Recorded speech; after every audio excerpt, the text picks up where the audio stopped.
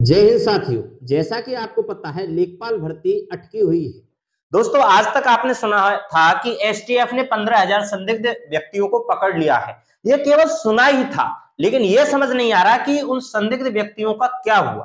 तो आज हम यहाँ पर यह बात करेंगे कि जो संदिग्ध व्यक्ति इनकी कैटेगरी बनाई थी, पंद्रह हज़ार संदिग्ध व्यक्तियों की, उनका क्या हुआ? आखिरकार वो कहाँ गए? वहीं पर आप देखोगे कि कट ऑफ़ का कम क्यों हो सकती है? कट ऑफ़ कम क्यों हो सकती है? आज तक केवल आपने जितने भी यूट्यूबर्स को देखा होगा वो ये बताते हैं कि कट ऑफ़ कम हो सकती है। लेकिन क्यों हो सकती है? ये कोई नहीं बताता। आज मैं उस बेस को आपके लिए लाया हूँ एनालाइज करके कि वह आखिरकार बेस क्या है जिससे यह अंदाज़ा लगाया जा रहा है कि आ, आपकी कट ऑफ़ कम जाएगी। वहाँ पर ही आप देखोगे कि रिज़ल्ट के बारे में आयोग का बयान क्या है आप लोगों ने अन्य यूट्यूब चैनलों पे देखा होगा, एक अखबार की क्लिप में कि पंद्रह दिन में रिज़ल्ट आने वाला है, उस पर भी हम चर्चा करेंगे दोस्तों। तो सबसे पहले अगर आप चैनल पर नए आए हैं तो एकदम रियल अपडेट जानने के लिए पहले तो चैनल को सब्सक्राइब कर लें और लाइक का बटन दबा दें। तो दोस्तों, सबसे पहली बात कि पंद्रह संदिग्ध व्यक्तियों का क्या हुआ? दोस्तों एक बात बताइए कि आपको और हमको यह कैसे पता चला कि पंद्रह हज़ार व्यक्ति संदिग्ध है? कैसे पता चला? कमेंट बॉक्स में लिख के बताइए। आपको यूट्यूब के माध्यम से पता चला? एसटीएफ ने ही ये आपका जो केस है ये उबारा था। एसटीएफ की ही तो ये कयामत थी कि उन, उसने क्या किया था कि पंद्रह हज़ार व्यक्तियों को सामने लाया था कि ये पंद्रह हज़ार व्यक्ति आपके संदिग्ध हैं। तो दोस्तों एक बात बता दूँ जो आपकी एसटीएफ है उसने जो पंद्रह हज़ार व्यक्तियों से संबंधित जो कागजात थे, वो सब जुटा लिए हैं। अब आपको इस पर विश्वास नहीं हो रहा होगा। तो दोस्तों, इन पंद्रह हज़ार के बारे में हमको पता कहाँ से चला? वो भी तो एसटीएफ से ही पता चला था ना? एसटीएफ ने तो हमारे सामने उजागर किया था इनको। तो इस बात को, इस बात पर भी आपको विश्वास करना होगा कि एसटीएफ ने उनके समक्ष जो भी कागज़ कार्यवाही है, वो सब आपकी पूरी कर ली गई है। ठीक है ना? जब पंद्रह का विश्वास किया है तो इस बात को भी एसटीएफ की बात को भी हमको मानना पड़ेगा। वहीं पर आप देखोगे कि सबसे मेन सवाल कि आखिरकार वो बेस क्या है जो आपकी कट ऑफ़ कम जा सकती है। तो दोस्तों, आप यहाँ पर देखिएगा कि जो पेट के द्वारा जो एग्ज़ाम हुआ था, आपका सबसे पहले जूनियर असिस्टेंट का एग्ज़ाम हुआ था। दोस्तों, उस एग्ज़ाम में आपने देखा होगा कि पैंसठ नंबर का पूरा पेपर आया था और उसमें से जो जनरल की कट ऑफ़ गई थी, वो आपकी गई थी बयालीस तो दोस्तों, यहाँ पर आप अंदाज़ा लगा सकते हो कि रिज़ल्ट कितना परसेंटेज गया है। अगर मैं ओबीसी की लगाऊँ तो कोई जनरल और ओबीसी में कोई ज़्यादा अंतर नहीं था। ओबीसी की आपकी रही थी, यहाँ पर आप स्क्रीन पर देख भी रहे होंगे कि बयालीस पॉइंट दो तीन, ये आपकी क्या रही? ओबीसी की रही। यानी कि ओवरऑल अगर मैं रिज़ल्ट देखूँ यहाँ पर तो मित्रों कितना गया था? आपका चौसठ यानी चौसठ गया था। चलो मैं पैंसठ मान लेता हूँ, लगभग पैंसठ गया था। तो दोस्तों बताइए, अगर यहाँ पर पैंसठ परसेंट रिज़ल्ट गया है तो लेखपाल की क्या कंडीशन होने वाली है? यही नहीं, मैं बहुत कुछ एनालाइज करके आया हूँ। अब आगे देखिए। जो दूसरा पीटी के द्वारा एग्ज़ाम हुआ था, वो आपका हुआ था UP triple S lower PCS का एग्ज़ाम दोस्तों। तो आपको यहाँ पर दिख रहा होगा स्क्रीन पर, उसमें कितने मार्क्स थे? यानी कि 400 मार्क्स का वह हुआ था दोस्तों। वहाँ पर जो जनरल की कट ऑफ़ गई थी, वो कितनी गई थी? दो सौ निन्यानवे टू गई थी। और ओबीसी में कोई अंतर नहीं था ओबीसी के लिए भी टू आप एस सी एस और जो भी वर्ग है, उसका आपको स्क्रीन पर दिख रहा होगा। तो दोस्तों, यहाँ पर आप लगा सकते हो कि कितना परसेंटेज गया? बताइए रिज़ल्ट कितने परसेंटेज गया? यानी कि कट ऑफ़ आपकी 75 परसेंट गई, रिज़ल्ट आपका 75 परसेंटेज गया। यानी कि पहला आपने देखा एक प्रूफ अब दूसरा प्रूफ मैंने आपको दिखा दिया क्योंकि रिज़ल्ट ज़्यादा जा ही नहीं रहा, क्या आप बताइए, क्या इनमें आपके होशियार बच्चे नहीं बैठे होंगे? इनमें भी होशियार बच्चे बैठे होंगे, जिन आधे सौ बच्चे वो होंगे जिन्होंने इसमें भी एग्ज़ाम दिया है, और आपके लेखपाल में भी एग्ज़ाम दिया है। और अब आगे देखिए, तीसरा महत्वपूर्ण एग्ज़ाम हुआ था, वो आपका हुआ था यूपीएसआई का। अब यूपीएसआई की कट ऑफ़ कितनी रहने वाली थी दोस्तों? अब यहाँ पर आप देखोगे कि यूपीएसआई में भी लोअर पीसीएस की तरह 400 मार्क्स का आपका क्या था? प्रश्न पत्र था।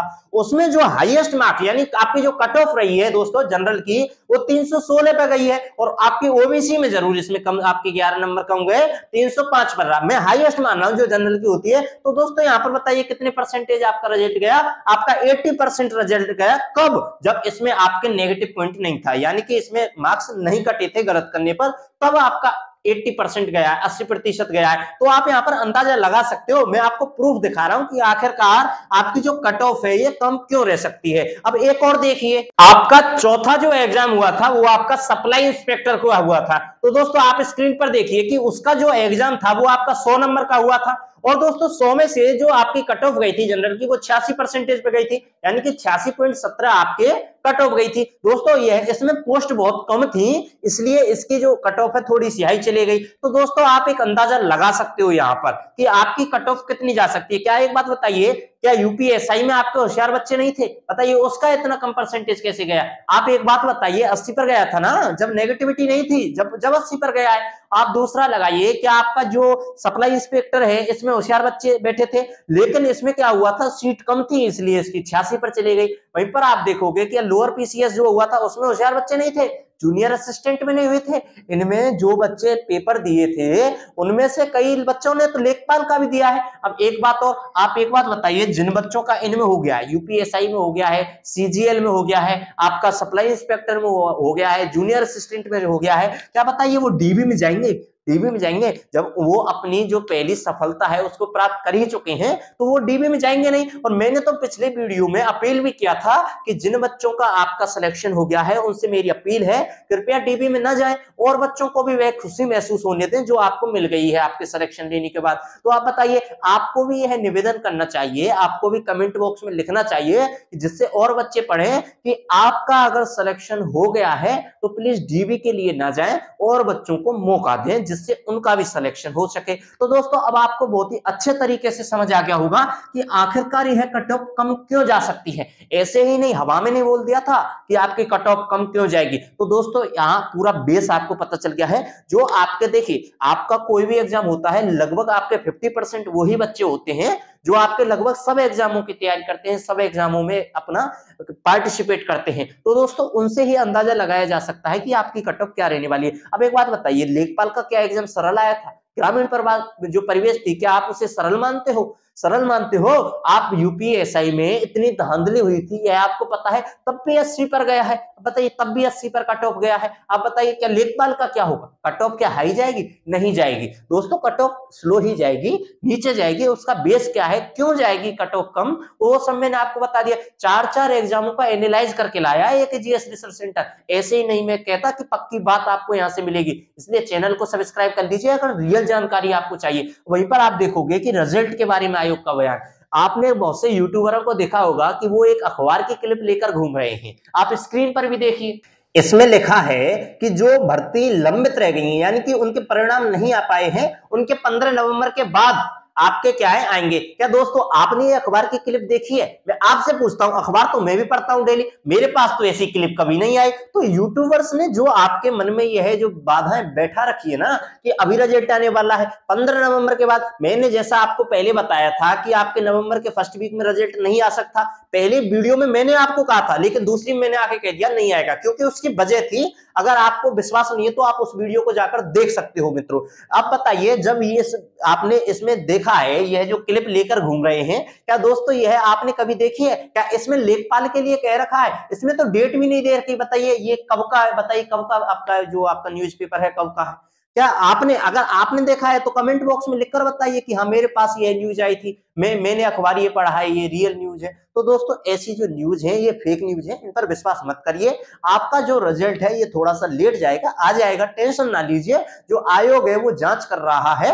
आपका रिज़ल्ट साफ़ सुथरे तरीके से आएगा, कोई भी धांधलीबाज आपका रिज़ल्ट में शामिल नहीं होगा। आप बताइए, क्या आप चाहते हैं कि कोई भी धांधलीबाज का सिलेक्शन हो? क्या जिसने चीटिंग की है, या जितने, जिसने पैसे दिए हैं, या फिर जो पंद्रह हज़ार संदिग्ध में शामिल है और जो जिसमें रियल में जो फर्जीवाड़ा जिसने किया है, क्या उसका सिलेक्शन होना चाहिए? आप भी यही चाहते होंगे, चाहे रिज़ल्ट एक दिन लेट हो जाए, लेकिन फर्जीवाड़ा सिलेक्शन ना हो। इसलिए लीगल जो रिज़ल्ट है, वो निकलना चाहिए। और दोस्तों, आप ही बताइए लीगल रिज़ल्ट निकालने के लिए थोड़ा समय तो लगेगा। इसलिए थोड़ा समय और, लेकिन ज़्यादा दिन नहीं है। ऐसी फेक न्यूज़ पर आप विश्वास मत करिए। ज़्यादा दिन नहीं है, आपका रिज़ल्ट जल्दी ही आएगा।